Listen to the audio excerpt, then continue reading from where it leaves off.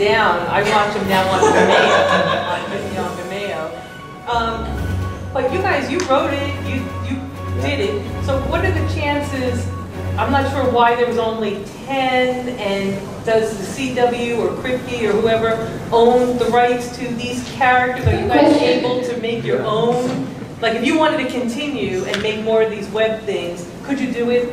We- Or do you need their permission? Yeah, we, we, we definitely need their, uh, permission. We've, we've gone in a couple times, and there was a couple, moment or two where it felt like it was, it was gonna go. It's one of those weird things, it was, you know, had all this momentum and all this sort of, it was like a dollar short a day. Like, it was just, it was just before its time where it made sense, and then, I don't know, because the, Kripke was our biggest fan. Kripke was the one that, like, got behind us, and when Kripke left, the next, something happens with shows, when new showrunners come in, they kind of want their vision, and the showrunners that have been there since Kripke haven't really been, like, thought the Ghostfacers were part of the supernatural Milieu. yeah, so as far as with it's, he's always been, and Phil, I- like I said, when I had lunch with uh, Phil last week, or, uh, before Christmas, uh, he, uh, he was, you know, so, there's so much passion there about bringing this back, but again, it's, it's a political thing, it's just one of those things. The more the, the fans and stuff have tweeted and, and, uh, and talked about the Ghostfacers, they watch all that sort of stuff, so if you want us back, just, you know, hashtag Ghostfacers. So the showrunner change, does that kind of explain the, the tonal difference when you get to Thin Man? Yeah. Sure. Yeah. Thin Man was the worst experience I've ever had as an actor, ever. It was the I think it was the only time I ever got in an argument with a director on set. It was the director was the biggest douchebag I've ever worked with, and I've never got mad. I always loved going to work, and this guy just he I he never watched the Ghostfacer. He didn't know about the Ghostfacers. I don't think so. So he just didn't understand that Travis and I We're hilarious. were funny or like and he just wouldn't allow us to be. He just kept. He would literally say, "Cut." That was terrible. Can we try that That was again? And not be so French. It awful. was French. That was terrible. Let's do it again. This time, don't do it so badly. Please don't suck this guy. And he was The serious. French don't know comedy, we know that. I was like, "Is this guy serious?" Like, and he just. It was. It was horrible experience. Like to the point where like I. I and it, to add the, the double stress. I mean, I just my child was born, and they pushed the shoot. They moved. They flipped the episode three times. My wife was late, so they pushed it one last time, and uh, they said no matter what, whether your child is born or not, you have to get on the plane on Monday. So we induced labor. My child was born Sunday morning. Uh, I got to pull my child for an hour, and I had to get on a plane and leave.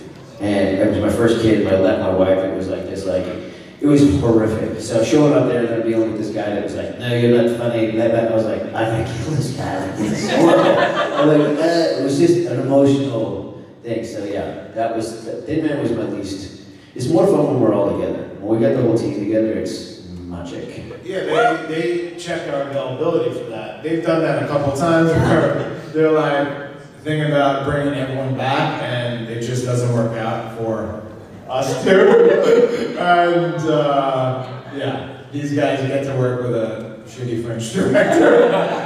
Sorry. Wasn't it, wasn't he just, it was, it was, It, it, it was unreal. I mean, I, I couldn't, I don't know if I can, I don't want to slag off too bad, but I really couldn't think of a worse, uh, a worse director to, to put into the Ghostface. The thing was originally, wasn't Phil. it was, yeah. Yeah, so the guy that directed the first Ghostfacer episode was originally slated to direct uh, our, uh, the episode that we're coming back in, and that would have been great. Um, and then, you know, just scheduling and everything else, and yeah, it's just it's a shame because you can tell he just didn't have an appreciation for who we were and what we were supposed supposed to be bringing to the show.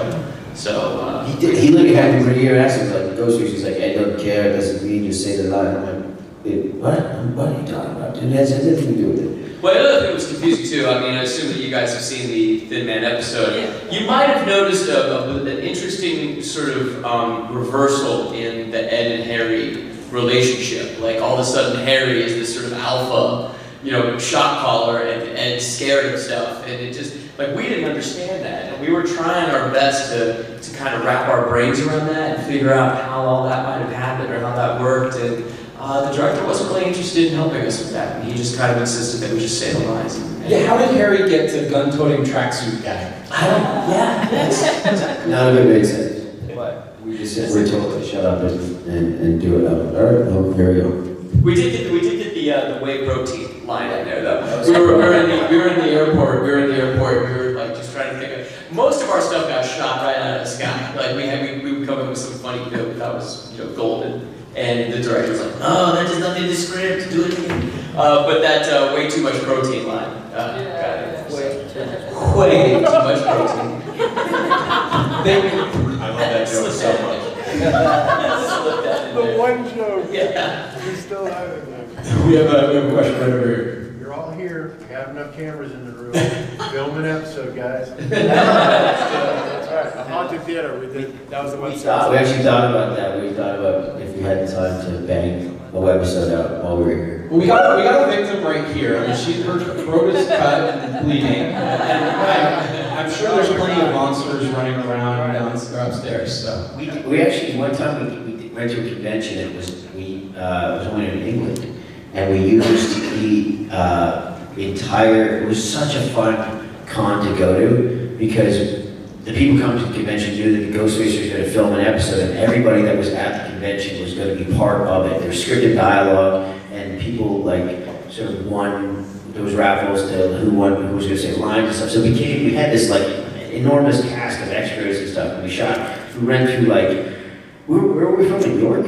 York. So it was, the, the setting was just perfect, it was really spooky and stuff, but it was so cool, like, we literally, it was over a hundred, fifty, hundred extras, and it was probably one of the most fun I've ever had at a convention. Because we really, there was a lot of interaction, and, and you, the fans, got to have this great experience, and, um, but yeah, that was fun, no, we definitely wanted to do it, Yeah, just, we, yeah. If we if we had like a little more time, like I think we we didn't have kids. We didn't have kids. Otherwise, it's like, oh, but yeah, yeah, we'd love to see my dad get some time. awesome. All right, we'll, we'll go right there, and then we'll come back to you. So if you guys could continue the uh, Ghostfacer web series, um, where would you pick up with your characters? Like, what have your characters been doing the last couple of years? How would you? Uh, the question is, if we could pick up our, our the web series, what would our characters be doing? You know, I actually always thought it would be cool because it's footage. Is that if you find found footage, or so it would, you could bring all of us back. You would have the prequel of of the stuff that happened. So you could have years and years and years and years of stuff that happened up until when we know what happened. So you just rewind the clock a bit, play it back, and and I think that would allow us to have liberty with this. I always thought it'd be cool, regardless of where we go, that Corbett comes back as our, you know, gay friend the ghost. You know, always helps out in spooky situations. He's your spiritual guide. He is.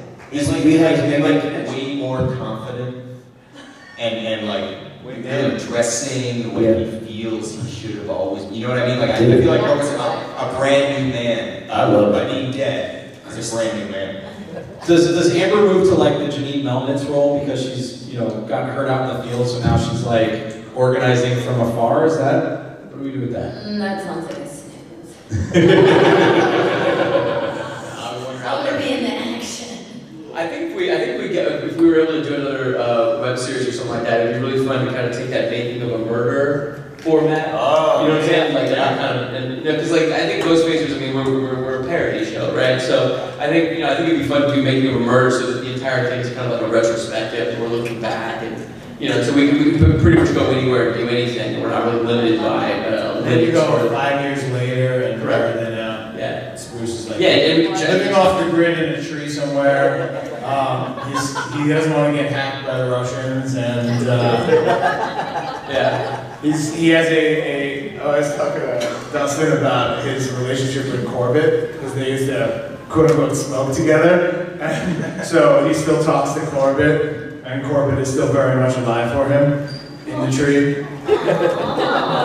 Now, do we repair the Harry and Ed relationship, or do we just ignore Thin Man's existence? What? Ignore it. Um, well, I think